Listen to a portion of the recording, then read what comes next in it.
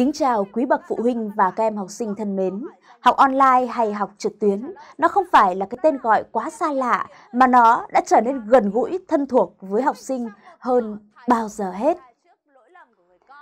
Ngày nay, ngoài học trên trường, học trên lớp ra, học sinh sẽ có nhiều thời gian để có thể tự ôn luyện và học tập tại nhà. Và đáp ứng được nhu cầu mong mỏi của học sinh cả nước,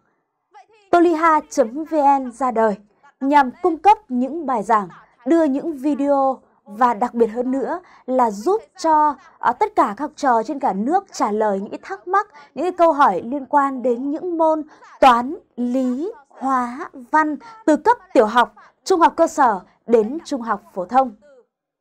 Với cấp trung học cơ sở,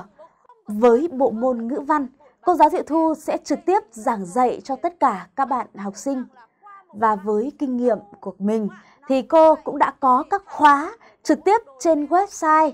Các bạn học sinh chỉ cần đăng ký bằng cách truy cập vào đường link ở toliha.vn sẽ ra những giao diện như thế này. Và khi mà các bạn học sinh kích vào thì sẽ có những cái khóa học, những cái gói học khác nhau à,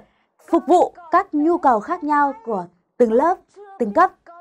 Và à, môn văn ở trung học cơ sở thì các bạn học sinh sẽ cần phải trang bị cho mình những kiến thức, những kỹ năng liên quan đến từ vựng, ngữ pháp, chuyên đề nghị luận xã hội và nghị luận văn học với những tác phẩm văn học và bắt đầu các con hình thành kỹ năng cảm thụ văn học.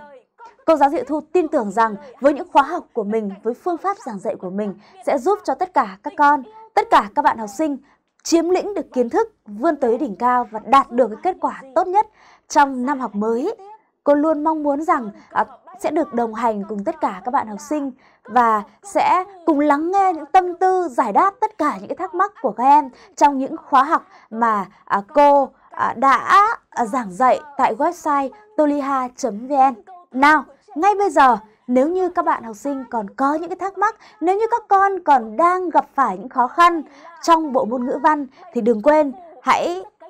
truy cập ngay website toliha.vn để học văn cùng cô giáo Diệu Thu nhé. Cảm ơn tất cả các em và hẹn gặp lại tất cả các em trong những bài giảng tiếp theo. Xin chào và hẹn gặp lại tất cả các bạn học sinh.